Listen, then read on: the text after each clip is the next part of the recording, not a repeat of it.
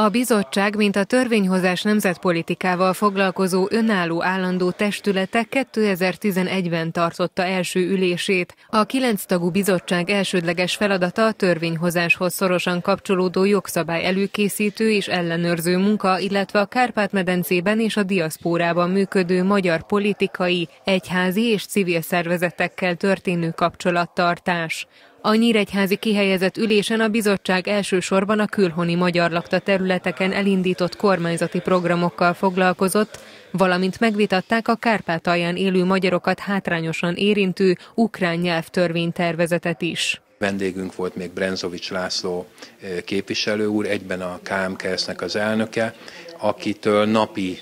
politikai helyzetről kaphattunk értékelést, többek között arról az aláírásgyűjtésről, ami az új ukrán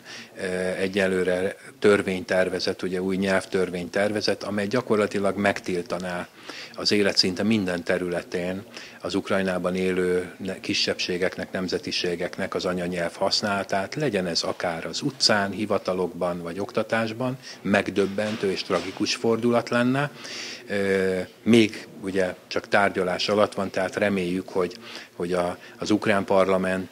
el fogja vetni ezt a javaslatot, hiszen egyébként ellentétes a magyar-ukrán alapszerződéssel. Az ülésen szó esett arról a Kárpátaljának szánt összesen 32 milliárd forintos gazdaságélénkítő csomagról is, amely az ott működő vállalkozók és vállalkozások fejlesztését, piacra jutását segíti. A EGANED gazdaságfejlesztési program szűk három esztendő 32 milliárd forintnyi forrást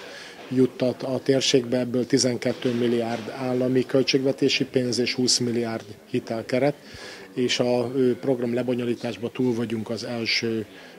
pályázati körön. Itt elsősorban a kis vállalkozásokat, a kisebb, kisebb értékű gépeket és lehetőséget a vállalkozás elindításához, fejlesztéséhez, valamint egy, egyúttal egy ilyen lelki gátat is legyőzött az első pályázati kör, hiszen ebben a régióban az elmúlt száz év alatt hatodik államban élő magyarokat éppen elégszer becsapták, hogy ne higgyenek minden újsághírnek, és így látják viszont azt, hogy komolyan gondolja Magyarország a segítséget. A bizottság az ülésen áttekintette a külhoni magyarok számára indított 17 milliárd forintos óvodafejlesztési pályázati programot, valamint határozott arról is, hogy következő kihelyezett ülését májusban Romániában, a moldvai csángók otthonában tartja meg.